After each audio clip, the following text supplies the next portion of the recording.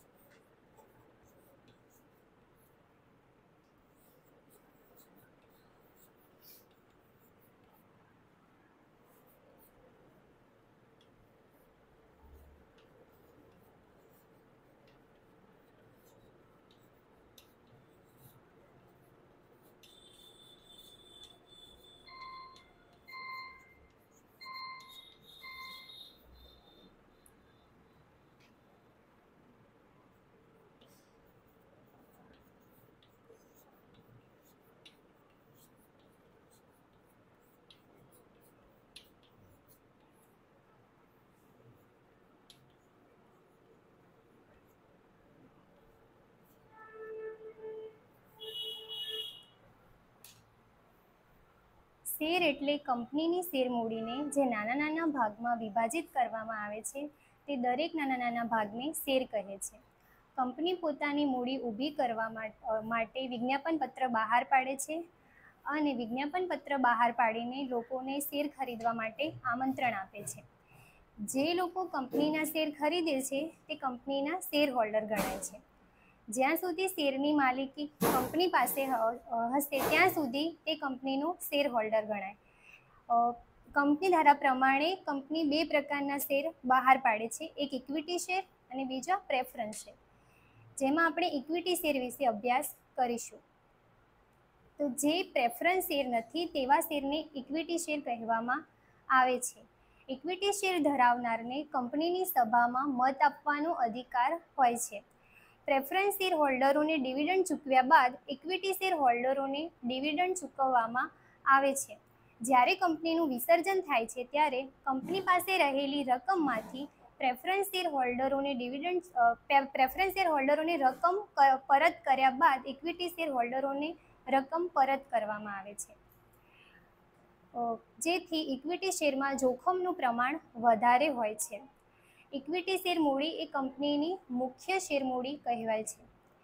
Company ધારા પ્રમાણે equity શેરની કિંમત ઓછામાં ઓછા રૂપિયા એક હોવી જોઈએ. તો આ કથન પરથી હું તમને કેટલાક પ્રશ્નો પૂછીશ જેના તમે પૂરા વાક્યમાં જવાબ આપશો. શેરમૂડી એટલે શું?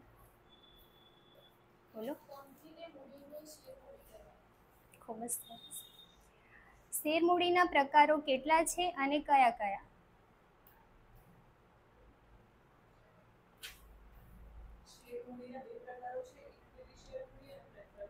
તદ્દન સાચું. શેર એટલે શું?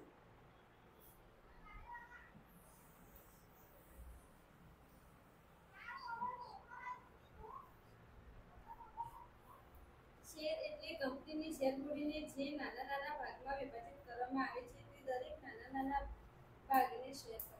ગુડ. કંપની પોતાની મૂડી ઊભી કરવા માટે શું બહાર પાડે છે?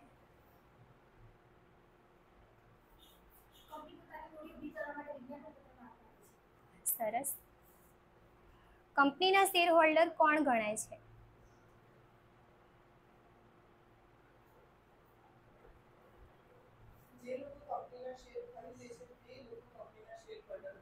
યસ. ઇક્વિટી શેર મૂડી એટલે શું?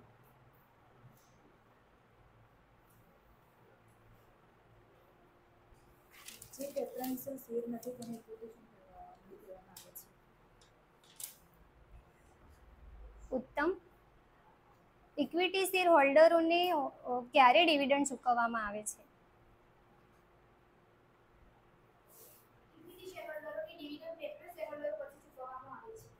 સરસ.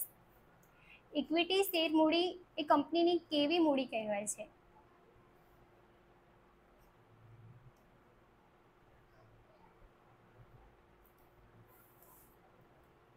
ઇક્વિટી શેરમૂડી એ કંપનીની માલિકીની મૂડી કહેવાય છે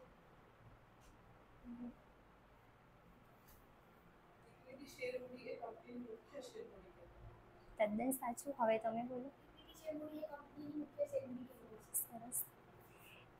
શેરની કિંમત ઓછામાં ઓછી કેટલી હોવી જોઈએ? ઇક્વિટી શેરની કિંમત ઓછામાં ઓછી થેન્ક યુ